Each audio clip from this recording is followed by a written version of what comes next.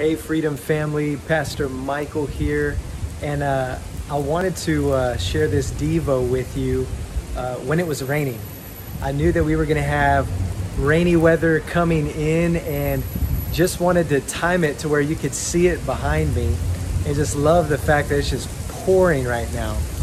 And uh, there's a, a, particular scripture that I wanted to share with you um, as you're seeing and hearing the rain behind me, but it's in uh, Zechariah 10, verse 1, and it says, Ask the Lord for rain uh, in the season of rain, and he will bring uh, rain in that season down, uh, and even provide it in such a way to where everyone will also experience the vegetation of the land.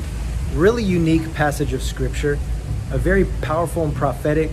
Uh, when it was spoken, it talked about restoration and the abundance of God, and so what I want to share with you for a moment um, is first of all, read that scripture, Zechariah 10:1. And sometimes when it comes to the abundance of God, um, it's as simple as asking of God. We recognize that He's an abundant God. We know that He is one who pours out to the point of overflow.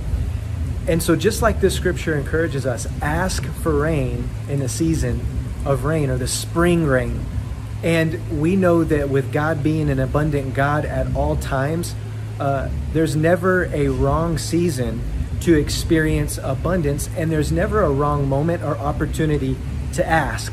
You know, when we read in James, he says, You have not because you ask not, and then you fail to receive because of the wrong motives or desires within you.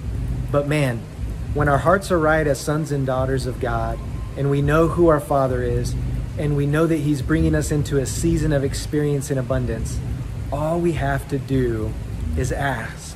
So, again, check out this rain. It's pouring, flowing. I know you can hear the, the raindrops. And so that's my encouragement for you today. Ask of God in the season of rain. And I'm telling you, the season of rain is now. We're experiencing the abundant flow of God, the outpour of God there's an overflow for us to experience. And all we need to do is just simply ask. And it's the season. So I just I just hope you're encouraged with that prophetic word today. And uh, let me just pray over you for a moment. Father, we thank you for your abundance. We thank you for your rain. We thank you for, for showers of provision.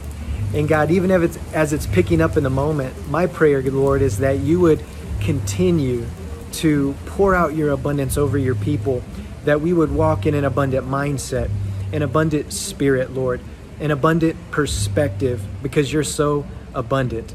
And so we love you. We praise you for that today, God.